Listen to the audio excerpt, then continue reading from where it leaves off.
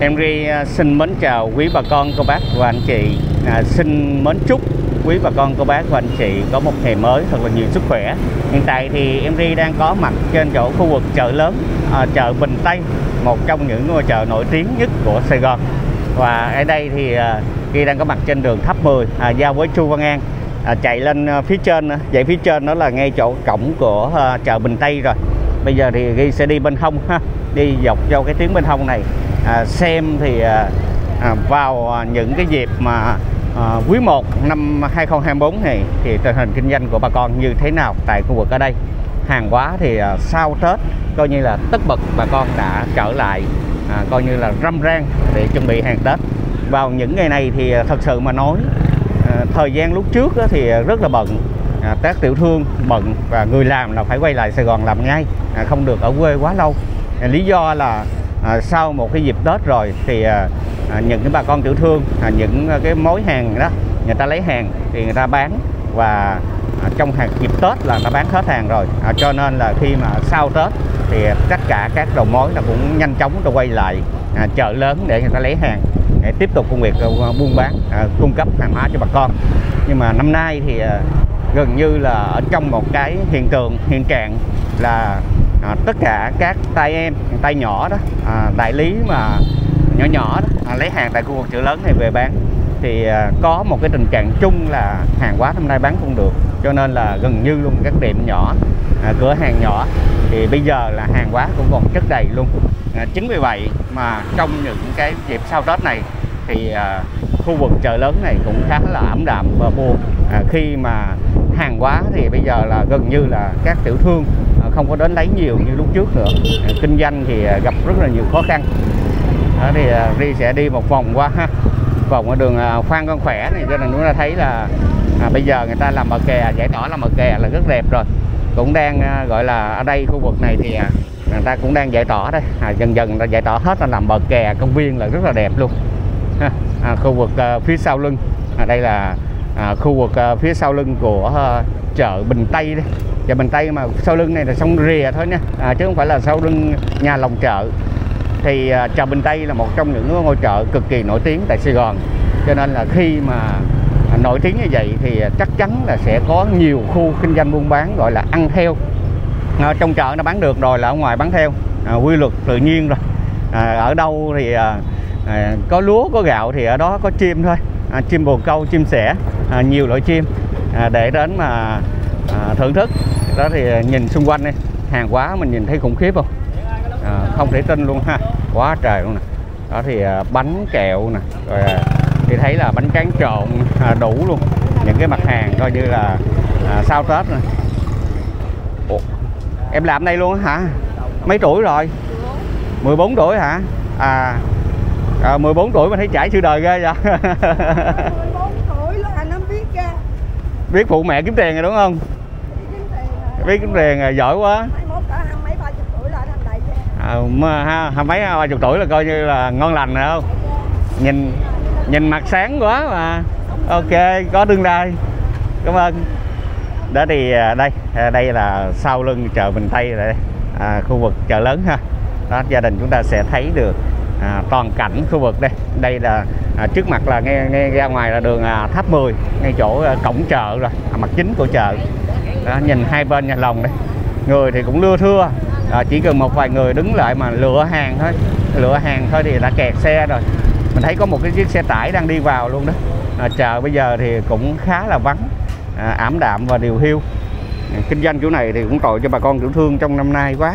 À, năm rồi coi như là cũng chịu chịu gọi là à, chịu trận nguyên một năm rồi thì thêm một năm nay nữa coi như là cũng gọi là tơi tả luôn chứ không phải chuyện bình thường. À, không biết là à, có trụ nổi hay không hay là không phải là à, gặp khuôn lại với những cái tình cảnh khó khăn như thế này. Để đi rẽ vào bên đây. Sau lưng ha đây là sau lưng à, của à, nhà lòng chợ đây nhà lòng chợ Bình Tây khu vực chợ lớn. Đó thì à, thấy được cái cảnh buôn bán của bà con thì hàng hóa thì bài ra đây còn các anh à, bốc ship thì coi như là bây giờ cũng ngồi chơi. À, năm nay thì coi như là qua Tết rồi nhưng mà việc làm thì coi như là chậm không có. Ngày xưa thì à, làm bốc ship đây rất là ngon hàng quá quá trời luôn. Như là cuối năm đồ là sắm vàng cho vợ con quá trời luôn. Còn bây giờ làm bốc ship đây thì cũng thở hơi lên thở hơi xuống nữa. Bây giờ thì à, à, ship hàng mới tính tiền. Mà bây giờ hàng quá lâu lâu có một xe tải đến nó giao hàng thôi. Thì à, ship đâu có được bao nhiêu đâu. Nên là nhiều khi thì anh em chia ra làm mà cũng không có đủ sống trang trải. À, nhiều cái khó nhiều cái hoàn cảnh. Mình thấy là à, đi vào sâu mình tìm hiểu mình mới thấy là à, nhiều khi là rớt nước mắt luôn. Đó.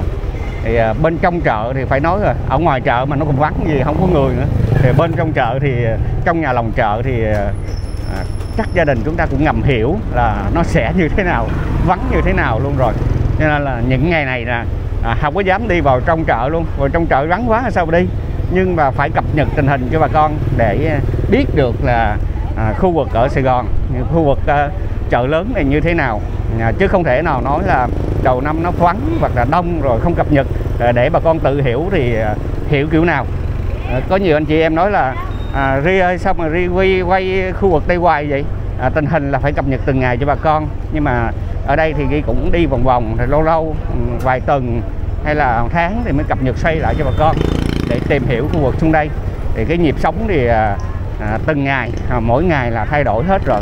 Đó thì ở đây thì ngoài ra thì à, bán à, à, bán à, đồ tạp hóa ha.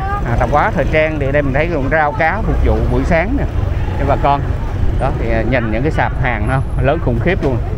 Mà tình hình thì à, vẫn là tình hình.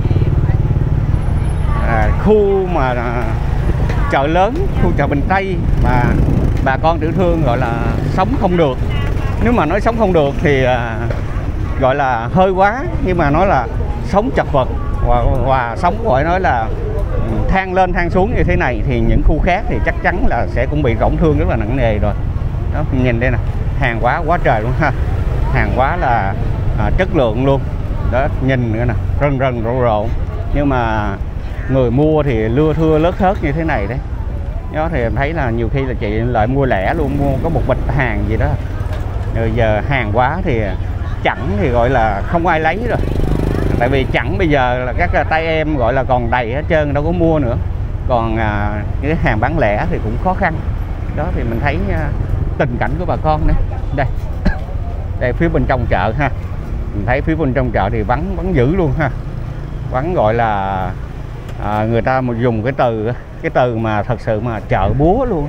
Mà nói ra thì nghe nó có vẻ là à, khá là vô duyên. Thật sự mà vô duyên thực luôn á. Ta dùng cái từ mà ế mà gọi là ế banh nhà lòng chợ luôn cả nhà. Đó thì cái câu này là có thật nha. Đó thì cái câu này là là rất là nghe luôn. Nhiều khi là vô là các chị mà các chị than chị nói gì luôn. Nghe là mình bây giờ là ghi chỉ là nhắc lại thôi. Nó khổ đến mức độ đó đó. Te tua tơi tả ha. Ờ, nhìn rất là chậm luôn rồi. Bây giờ thì à, những cái đại gia mà nói là một bốn bốn lời đấy là tiền tỷ nắm trong tay đấy. tiền thì gọi là à, nhiều khi là à, chất cao hơn cái giường ngủ nữa. À, tiền rất là giàu. Và con mà tiểu thương chợ lớn này lúc trước giàu khủng lắm. Còn bây giờ thì à, nhìn thấy thảm cảnh này thì mình cũng phải nói là à, đứt ruột luôn à, te tua hết trơn. À, đâu có thấy được gì đâu. Trong thì vắng vẻ ở ngoài thì à, điều hiu. À, kinh doanh coi như là bao cái phải nói à, bao cái phải lo. Đó thì nhìn ha à, buồn cho bà con quá trời trong cái những cái dịp Tết như thế này. À, sau Tết rồi năm mới rồi mà làm ăn thì vẫn chưa có gì gọi là khởi sắc hết. À, vẫn chúc, vẫn cầu vẫn cúng. Ờ, đủ kiểu nha. À, thật sự mà nói luôn á. À, từ những câu chúc nè rồi à, những lời gọi là khấn vái nè rồi cúng bái nè làm đủ kiểu đủ đủ à, đủ tất tật luôn mọi thủ tục. Nhưng mà tình hình thì có lẽ là vẫn chưa thấy có gì gọi là cải thiện hết. À, vẫn chậm và chậm điều như thế này đây. À, em ngay trước cổng à, à, phía trước thì gia đình chúng ta thấy cũng vắng rồi nè. À, vắng te te rồi đó thì à, nhìn cũng buồn quá ha. Đó, hai bên. Ra đây thì à, ngay đường à, tháp 10 đây. Tháp 10 đoạn này một chiều. Một chiều thì để giải quyết kẹt xe. Thực sự lúc trước thì đường tháp 10 là hai chiều. Rồi đường tháp 10 đi hai chiều. Nhưng mà do chợ lớn thì hay chợ Bình Tây này cái lượng khách quá đông. À, cho nên là phải chuyển lại thành một chiều để giảm bớt cái lượng kẹt xe ở khu vực này. Còn bây giờ thì một chiều nhưng mà đường xe có mấy xe chạy đâu nó vắng quá trời. Kinh tế thay đổi thì à, nhiều cái nó cũng đổi thay theo luôn. Mình thấy khó khăn ha. Nhìn tơi tả luôn. Ngoài à, khu vực mà ngay cổng à, chợ Bình Tây đấy mà vắng như thế này nhìn đường gọi là nếu mà nói không bóng người thì nó hơi quá nhưng mà có thấy ai đâu. Đó đây à, đi sẽ nhìn vào bên trong ngay chợ Bình Tây đấy để mình thấy những cổng chợ Bình Tây bây giờ thì gọi là đượm buồn. Vắng quá trời vắng luôn. À. đây sáng thì à, vẫn chưa ha à, chưa thấy một cái đoàn à, khách quốc tế nào người ta đến thăm à, chợ hết. À, coi như là à, Tết thì khách đi du lịch cũng canh. Người ta canh cái thời điểm mà trước Tết á. tại vì trước Tết là cái thời điểm rất là đẹp. À, nào là buôn bán xà mướt nè rầm rộ công tác chuẩn bị. Còn à, vào Tết thì à, coi như mọi chuyện đã xong hết rồi. À, cho nên là à, nhìn nó buồn hiu à. Cho nên là các tour rồi giới thiệu cũng phải là câu khách lúc, lúc giai đoạn trước đó là giai đoạn đẹp nhất. Nhưng là à, Xuân Diệu đã nói nhà thơ Xuân Diệu nói ha à, Xuân đến nghĩa là Xuân đã đi đó. À, trước Tết thì làm à, chuẩn bị đồ rần rần rộ rộ ì ì luôn. Hoa rồi bán đầy đường luôn cây cảnh đâu còn à, khi mà tới Tết rồi tới mùng 1 Tết rồi là chính thức Tết rồi đó thì lại là à, buồn hiểu buồn hiu. Cửa đóng then cài nhà ai nấy ở rồi. Nó à, vắng như vậy cho nên là cái công tác đẹp nhất vẫn là trước Tết cho nên là du khách người ta đến à, Sài Gòn chúng ta là cái giai đoạn trước Tết rất là đông. Và sau Tết thì coi như là ta cũng về nước ra hoặc là người ta chuyển sang ta đi du lịch ở nước khác. Có những cái lễ hội rồi à, có những cái cái mùa rồi nó đẹp thì để người ta vào. Đây đây mình thấy là cổng chợ Bình Tây đây. À, những cái ngày mà sau Tết thì như thế này đây đây thì Ủa mình chạy chạy xe ôm là mình phải vô đội luôn hả chú? À, có nó giải quyết công an nó giải quyết chứ nếu không có đậu nó bắt. Ủa đậu bắt hả? Ủa chứ con con tưởng đâu là cái nghề chạy xe ôm này là chạy tự do. đây nó thành lập cho có bến. À tức là có bến là là là phải phải vô bến là mới mới được chạy. À. vậy đó giờ con có hiểu là nếu ai muốn chạy chạy chứ. Công an quản lý. À công an quản lý trật tự. Dạo này mình chạy đỡ không chú? Ế đó. Ế đúng rồi chú. Giờ thì đa số thấy người ta đi người ta đặt cái app không hả? À, ở đây mình cũng mới quen mình chở hàng rồi nhiều không chú? Đúng rồi chỉ chạy mới quen chở hàng. À chở hàng nhiều. Dạ không? À. Rồi ngày vậy là mình à, thu nhập mình cao không chú? Trăm mấy hai trăm. Trăm mấy hai trăm là chạy à, nhiều khi không có nữa mà chạy từ từ mấy giờ tới mấy giờ chú? 7 giờ sáng tới 5 giờ. À, 7 giờ sáng 5 giờ chiều. À, trăm mấy hai trăm à, cũng khó khăn ha. Cơm nước ăn uống ngày ngày nữa thì nó cũng nhiều ha. Coi như là xăng đồ nữa thì à, thành ra là tính ra tính lại thì làm cả ngày luôn là coi như là à, không có dư đúng không? Không có dư. Không có dư. Ế lắm ế à, chợ quá trời vắng thật sự nói luôn chợ lớn là cái cô chợ mà đây lớn nhất Sài Gòn mà nó vắng chỗ này nữa thì thôi còn nói gì nữa. Dạ cảm ơn chú. Nhìn thảm quá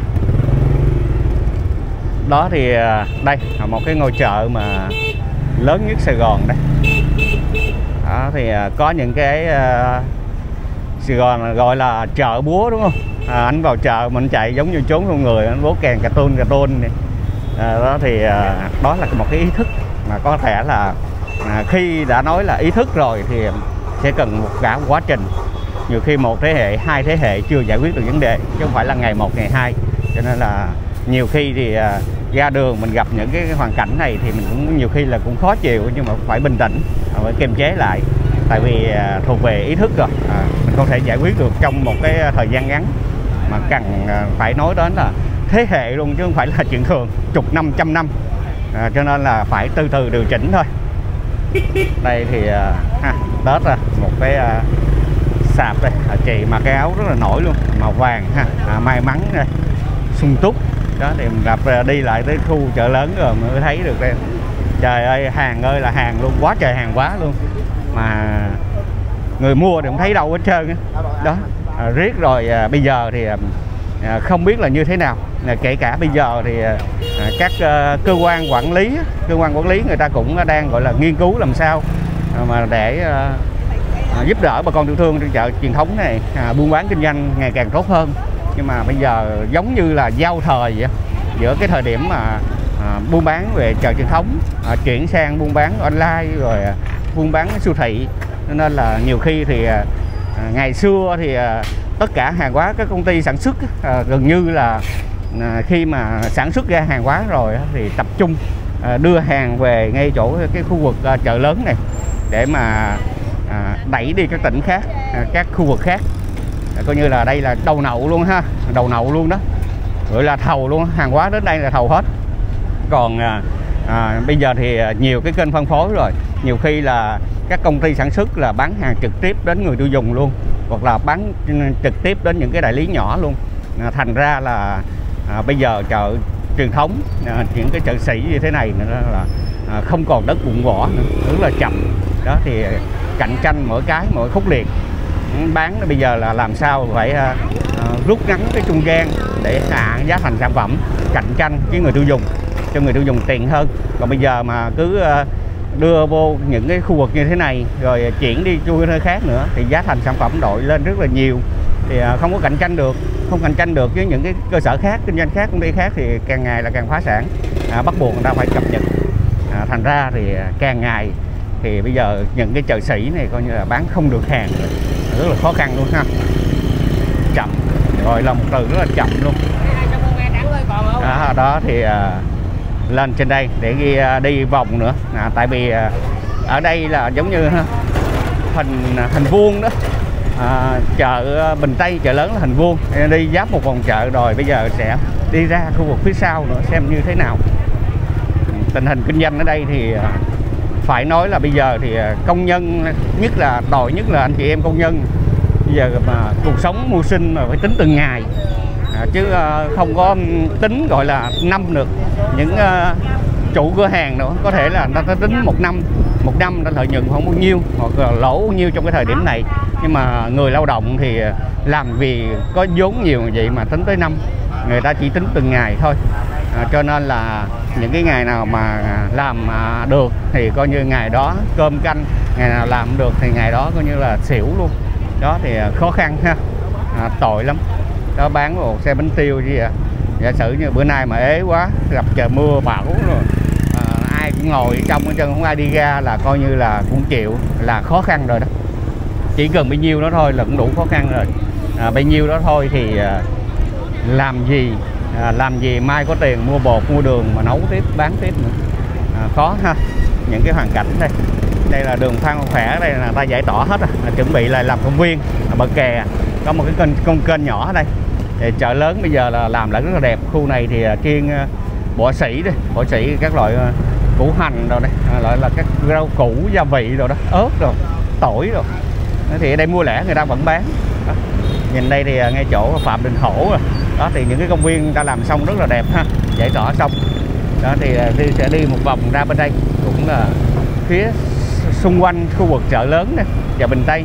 À, xem tình hình kinh doanh buôn bán của bà con thì như thế nào. Nó cũng nhiều mặt hàng đây là như cà phê green cà phê nè rồi vỏ sỉ hết nè cái tô chén dĩa ly gì đó thì coi như là tất tật luôn. À, các ngành nghề coi như là ga chợ lớn là mua đầy đủ hết. Mà bây giờ thì à, đường rộng mênh mông lúc trước đường rộng gì mà còn kẹt xe nữa chứ nhích thấy mồ luôn. Ra chợ lớn là ngán chết nhiều khi mà vợ kêu mà anh chở ra chợ lớn mua đồ là thấy ngán rồi. Xe đông nhích nhích nhích nhích. Ờ, người sau đi được la người trước rần rần rộ rộ. Còn bây giờ thì ờ, trời ra chợ lớn mà nhìn cái cảnh này giống như ra một cái vùng quê chạy xe bon bon trên đường luôn. À, giống như năm anh em trên một chiếc xe tăng. Đó đường nó rộng thênh thang đường lớn đã mở nè à, dùng cái từ đường lớn đã mở. Đó thì mình thấy được là à, những cái hàng hóa mà chất đóng chất núi như thế này mà đường xe thì vắng vẻ eo xèo thì đây cũng là một cái điều rất là khó khăn cho bà con kinh doanh. À, gọi là giai đoạn này coi như là à, chịu trận rất là nhiều rồi. À, te tua tơi tả đủ kiểu luôn chứ không phải dễ ăn đâu. À, tội quá trời tội. À, hy vọng là sắp tới ha. À, những cái, cái à, cửa hàng này nó sẽ khách ngày nó đông hơn như FPT đi. FPT shop mình nhìn thấy này. đó thì nguyên cửa hàng lô gốc này thì à, đậm à, à, thuê mà ba tầng lầu như thế này thì à, ba bốn tầng lầu như thế này thì cái giá thuê đâu đó, đó cũng bạc trăm triệu. Bạc trăm triệu mà bây giờ thì à, coi như nhiều khi cả ngày luôn bán không được sản phẩm nào hết trơn.